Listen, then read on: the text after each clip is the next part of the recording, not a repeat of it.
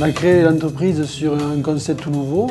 En 95, d'étant au chômage, je me suis lancé dans le badge aimanté.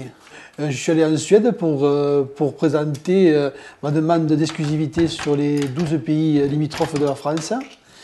Et c'est là qu'on a commencé à travailler parce que on voyait la crise arriver sur quel concept pouvions-nous faire à base d'aimants.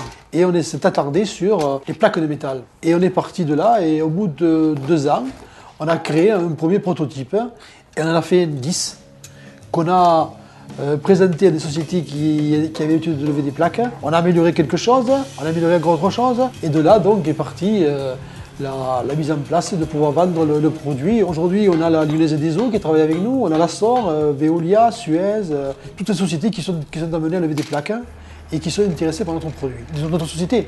Aujourd'hui, c'est en parallèle que nous faisons aussi de lève-plaques. On fait des coupes, on fait des t-shirts. Tout ça, ça se fait au fur et à mesure puisque c'est la demande des gens qui nous ont vus. On fait des lettres adhésives pour des voitures, on fait tout ce qui est un peu la communication, euh, l'information euh, gravée sur des, sur des plaques, faire des panneaux. Euh.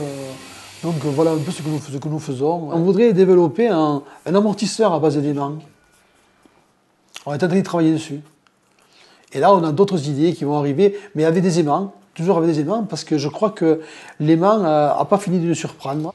Les idées viennent euh, parce qu'on se pose des questions. Il faut s'arrêter de travailler et réfléchir un peu ce qu'on pourrait faire pour améliorer. Euh, on est content. Je suis fier. Voilà.